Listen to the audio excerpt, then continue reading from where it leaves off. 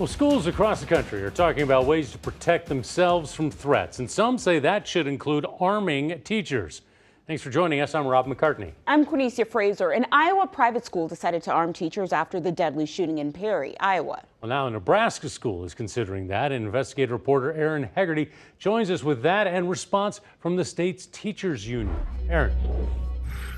Yeah, last week, Siouxland Christian School in Sioux City, Iowa decided to, decided to arm some staff members, including teachers. Right now, that's not an option in Nebraska, but some support a bill in the legislature that would change that.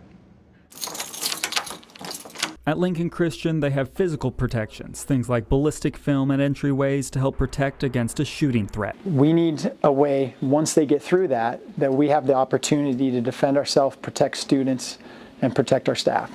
But the superintendent says he'd like to see armed security too, and he says there's interest from teachers and staff. It's going to be those people that, that have the aptitude and the ability and, and want to receive extensive training uh, to be put in this position. He says that's not possible now under Nebraska law, but he supports Senator Tom Brewer's proposal to change that. For some of our schools, particularly our rural schools, there's not a population of local law enforcement to draw on. The superintendent says they're also looking at mental health. We have a team that intentionally tries to dive into students that maybe feel like they're on the outside or that they don't have relationships.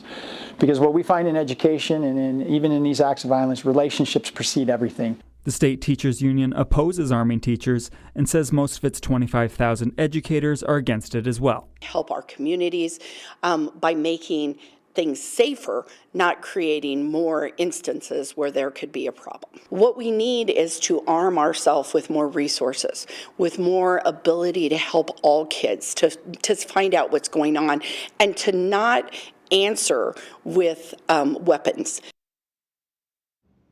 Other than allowing schools to arm staff, LB 1339 would allow off-duty officers to carry weapons onto school grounds, and it would issue grant money to MAP schools for security reasons. The bill is yet to have a hearing. Back to you.